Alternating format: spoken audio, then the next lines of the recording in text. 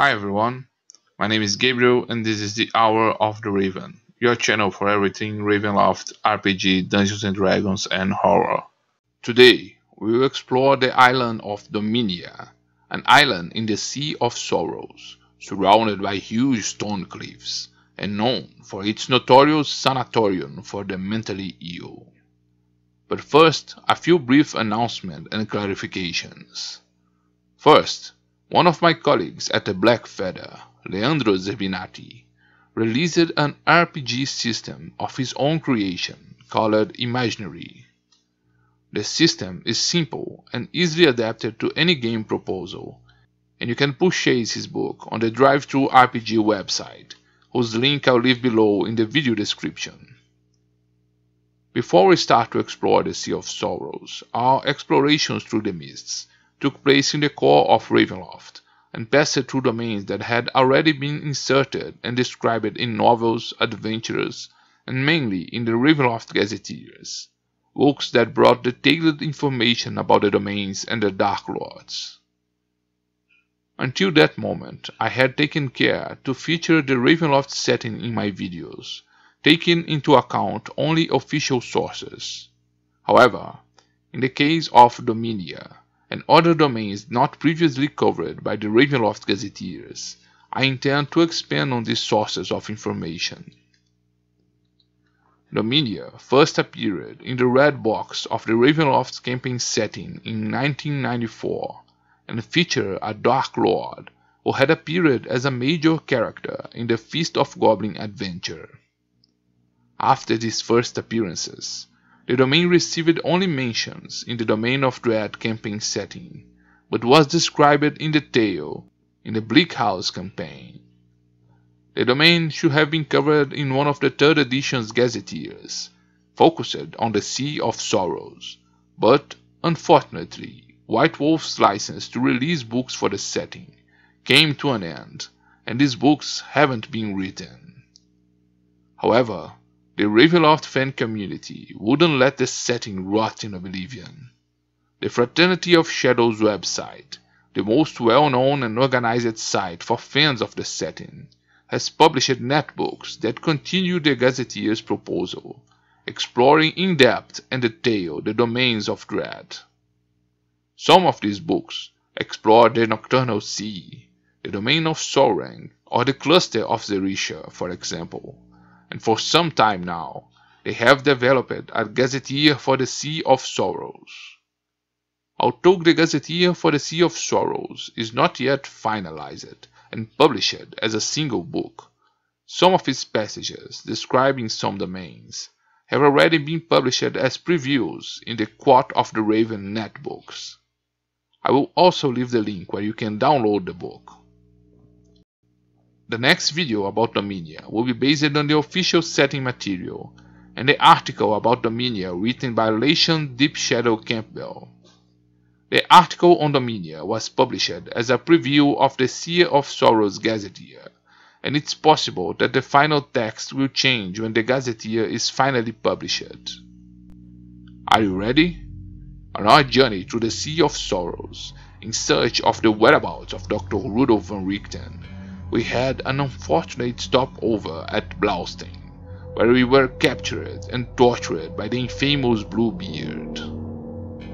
After he discovered that we were looking for the whereabouts of Dr. Rudolf von Richten, and that we are bound for the island of Dominia as our next destination, the cruel Dark Lord of Blaustein has decided to ensure that we reach our destination and has entrusted us to the care of a sinister vessel as slaves and prisoners.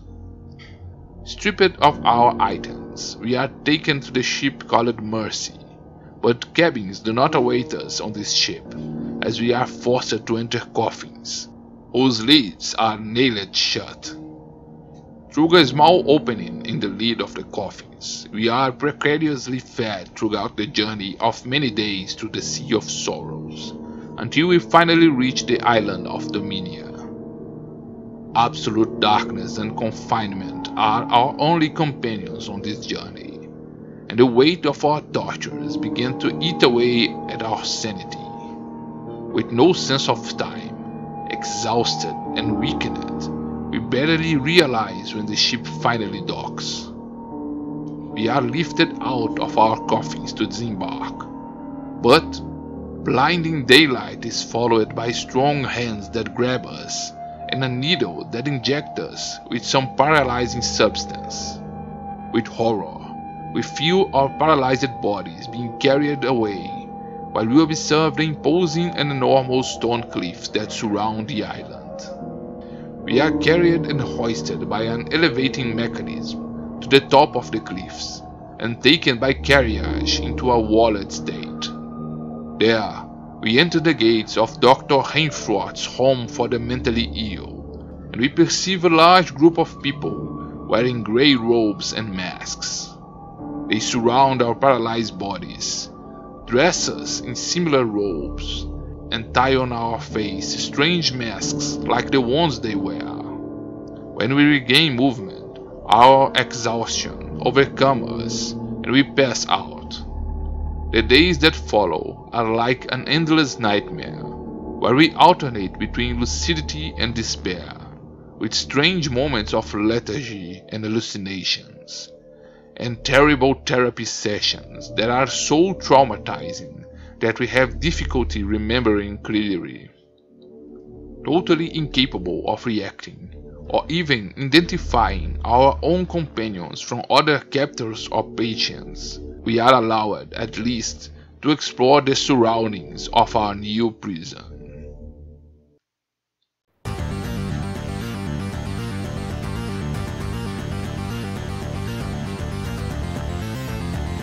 Hour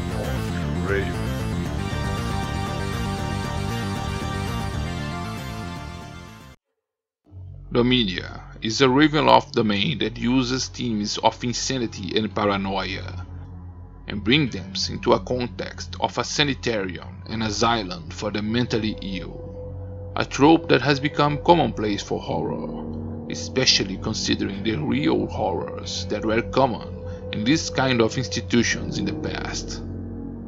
Insanity has always been a common theme for Gothic horror, with great authors like Edgar Allan Poe and Howard Phillips Lovecraft bringing to life characters tormented by the gears of their own minds until they are totally surrendered to their madness. The domain goes beyond these classic Gothic tropes, and its dehumanizing treatment the paranoia and control over the patients exercised in this sanatorium are inspired by more modern works such as 1984 by George Orwell, Fahrenheit 451 by Ray Bradbury, or Brave New World by Huxley, in addition to the television series The Prisoner. The domain is set in the Renaissance era although the strange scientific experiments of the cruel doctors of the sanatorium can easily be extrapolated to more culturally advanced eras. Its geography and types of architecture and construction of the sanatorium have an obvious inspiration in the European culture. The domain is not easily situated in terms of cultural reference. Dominia's origins are linked to another domain, in the lands of Gundarak, where Dr. Daclaud Rainfroth maintained his first asylum for the mentally ill, and acted as the main ally and servant of the Dark Lord Duke Gundar. With the death of Duke Gundar, Dr. Daclaud Rainfroth, also known as Dr. Dominiani, became Dark Lord of Gundarak for a short time, but did not manage to keep the control over those lands. The mist swallowed him once more to give him his own domain of dread. Initially, the island was completely surrounded by mists, but later it became part of the Sea of Sorrows, appearing at the occidental edge of the map, west of the domain of Lamordia. The climate of Dominia is temperate and often cold and rainy. The small island in the Sea of Sorrows is sometimes beset by terrible storms, and its proximity to the mist border often bring constant fog to the region. The island has a circular shape, and its habitable part is located many feet above the sea level, protected by huge rocky cliffs. Attentive observers will notice that the formation looks like the caldera of a dormant volcano, but whose top has been covered by earth and erosion debris, forming a layer of a fertile soil that also holds some artesian aquifers of potable drinking water. Navigation to the island is very difficult, and any vessel must slow down and approach with caution.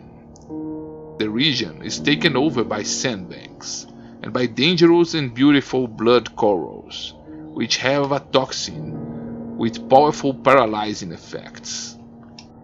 In fact, the only vessel that seems to make frequent trips to the island is the Mercy, a ship owned by Dr. Dominiani, and who makes regular trips to the continent in search of new patients. The cliffs that surround the island reach heights of 100 to 500 feet and make approaching the island a challenge. In its lower part, some caves can be glimpsed, and it is believed that some of them have sheltered pirates in the past. Other caves have become home to unknown creatures and predators, but most believe they are not connected. The island had a single port, with capacity for a few ships. Once docked, all cargo and passengers on ships wishing to go up to the asylum need to go through a cargo lifting mechanism, which lifts cargo and passengers very close to the cliffs until they reach the top. When finally reaching the top of the rocky walls, a traveler is faced with a dense forest of pine trees that are very reminiscent of the haunted forest of the lands of Gundarak.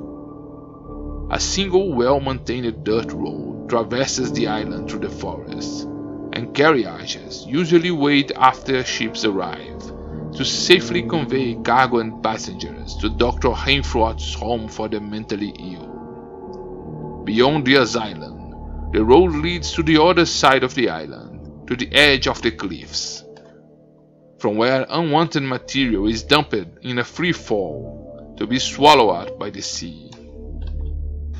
The imposing sanatorium is the only building on the island and is surrounded by walls with iron spikes and shards of glass in its masonry, protecting both sides of the building. Immediately in its surroundings, some small vegetable gardens and farms, lumber camps and clay pits can be found, where a group of patients dressed in grey robes perform labor tasks in a monotonous way. Around each of these places, there is an area with wolfsbane to try to avoid wolves' attacks on patients. Once within the walls, the building compromises a large open area for picnics and recreation for the patients, and a small cemetery and mausoleum. However, the sanatorium building and its various wings draw the most attention. Although small, the flora and fauna of the island of Dominia are very rich and part of a delicate and balanced ecosystem. The rich soil is extremely fertile and Dr. Dominiani takes advantage of this condition to bring the most exotic species to these lands, ensuring a wide variety of herbs and ingredients for his experiments. Some poisonous herbs that are only found in Borca, Kartakass or Forlorn are found in the region, and it is said that even a death head tree can be found in the woods. The most predominant vegetation is the bitterbark pines, a typical vegetation of the lands of Gundarak that forms the dense forest that cover most of the island.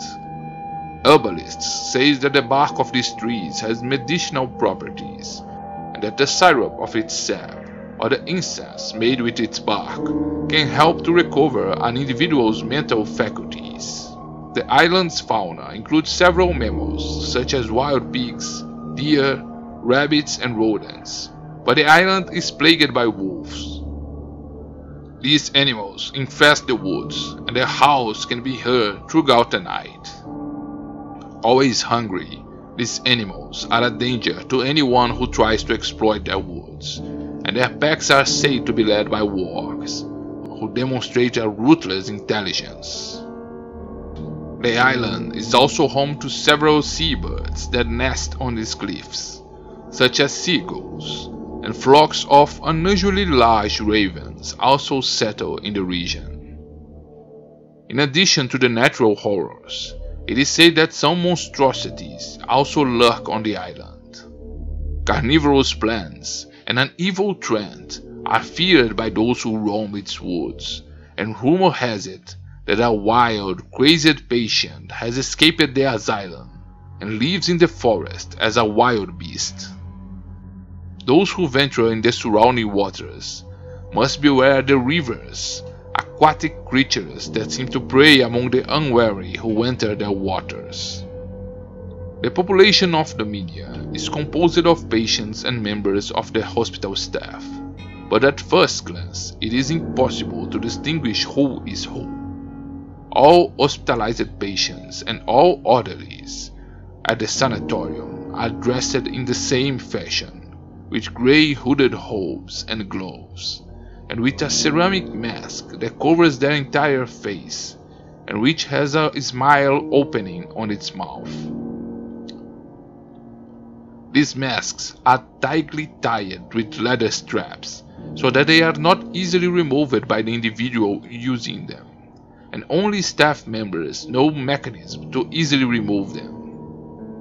On the forehead of this mask there is a number identifying the cell where each inmate is located, and no one uses any names within the asylum, with patients and staff being called only by the numbers on their foreheads.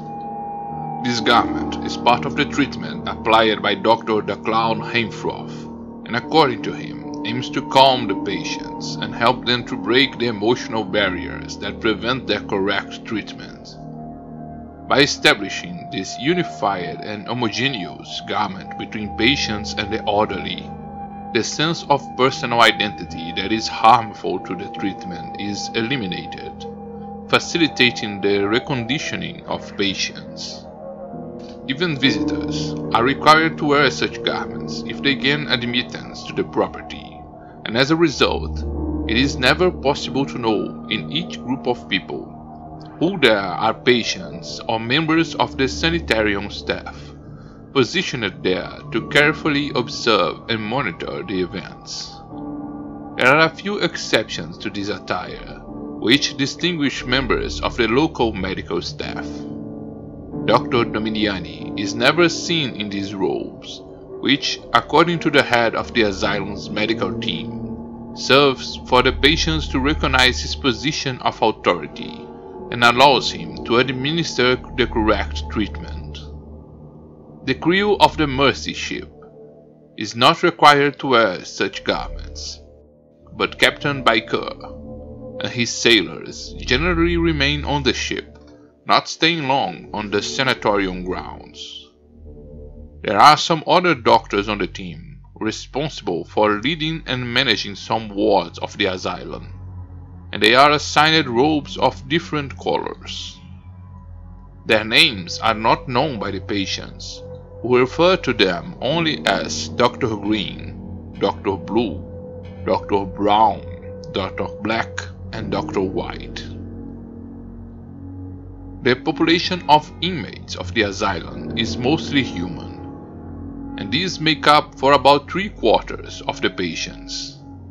The asylum also receives individuals from the most diverse humanoid races, and a large population of Calibans has loomed in its cells, giving the sad habit of some families that reject these deformed individuals, handing them over to the asylum's care, regardless of the state of their sanity. The truth is that the asylum has also become a place where the rejected and unwanted are taken to suffer away from the eyes of society. Rumor has it that this has even been the fate of some political prisoners, people who need to disappear from the public eye, at least until their minds are too muddled to become a threat to their enemies. Most of the patient population is made up of adults, although some children can also be found in the facilities. Some were sent by the families to the asylum because their existence was a cause of scandal or embarrassment for the families, and others were born on the islands to female patients who were hospitalized while pregnant. Dr. Dominiani takes great care of these children, as they represent a unique opportunity for his studies. These innocent and malleable minds are ready to be molded and manipulated and can be the source of great knowledge and learning.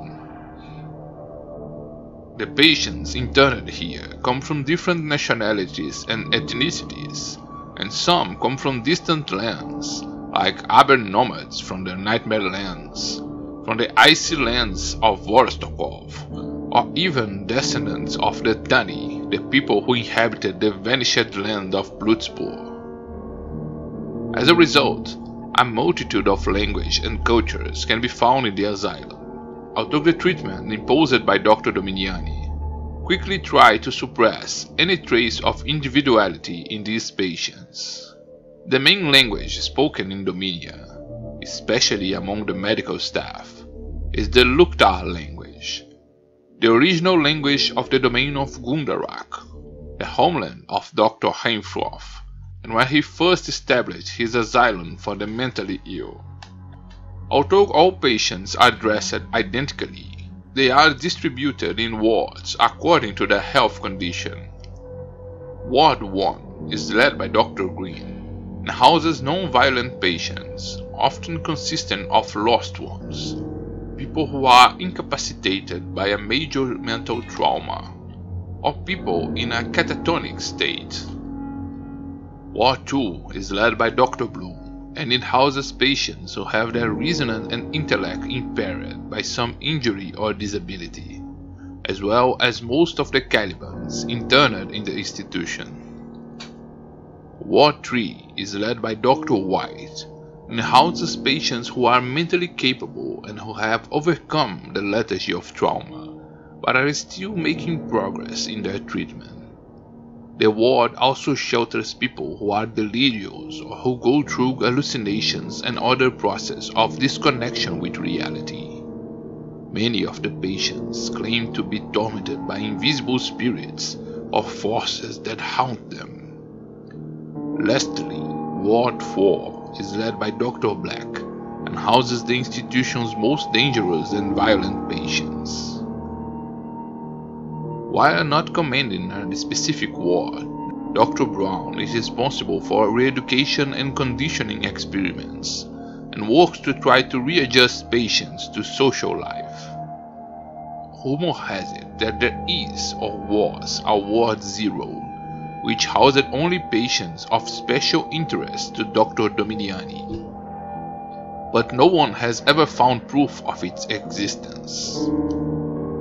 The island has no formal government, but the sanatorium's entire staff obey the orders of its founder and owner, Dr. Daclaud Heinfroth, also known by the alias of Dr. Dominiani. In addition to him, the doctors, known for the colors of their robes, form a board and council of the clinical staff and exercise authority over the other orderlies in their wards and areas of activity.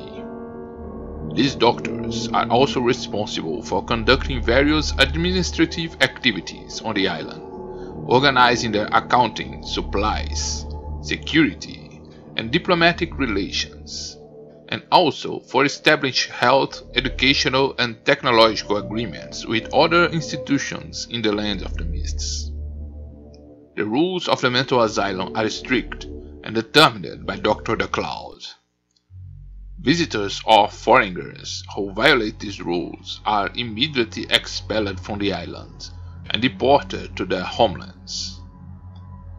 Patients who commit violent acts are immediately relocated to the dreaded Ward 4, where they are locked up with other patients of violent and dangerous temperaments and subjected to treatments specific for their condition.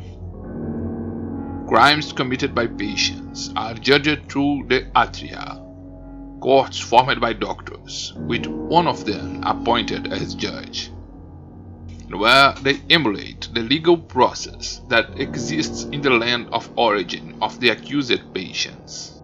This peculiar process of crime, judgment, and punishment was portrayed by the lawyer Gerard Lefik, who came from Borca at the request of one of his clients to bring evidence about his case, and wrote a book about the lives of patients in Dominia called The Refuge. The book brought great fame to Dr. Heinfroth and was adapted into a play of the same name, doing much to spread Dr. Dominiani fame as one of the leading specialists in the field. The only crimes committed in Dominia that are not tried in this way are those committed aboard the vessel Mercy. The only vessel that has a flag and port of Dominia as its home base is under the authority of Captain Baikor, who can analyze, judge, and punish the behavior of the crew and the crimes committed on his vessel. Dominia's economy is completely centered on the activities of Dr. Heinfroth's Home for the Mentally Ill and the institution receives considerable amounts for the treatment of those admitted to its facilities. Sanitary agreements with the Fellowship Charity Clinic from Martyria Bay in Darkon and the Granheim Sanatorium in Lamordia ensure a constant influx of patients and it's not uncommon for some well-to-do families to send to the clinic for treatment their members who are tormented or who may have become unwanted or embarrassing. In addition to medical activity, some of the treatment therapies involve the use of patients in cultivation and gardening activities, clay extraction for the manufacture of utensils and bricks, or even to act as lumberjacks and carpenters. All these activities aim only to meet the demands for the materials on the island the only ship that makes regular routes to the islands is the Mercy, which is always on the stretch between Dominia and the port of Martyria Bay. Time passes, and night and day are confused in this surreal nightmare into which we were thrown by the evil Captain Bluebeard. Our bodies are slowly recovering from the torture and the strenuous journey by ship to this destination but we are separated and unable to communicate with anyone we know. With masks strapped to our faces and forced to wear strange grey robes, we cannot distinguish between patients and staffs.